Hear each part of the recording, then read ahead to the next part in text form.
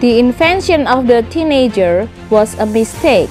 Once you identify a period of life in which people get to stay out late but don't have to pay taxes, naturally, no one wants to live any other way.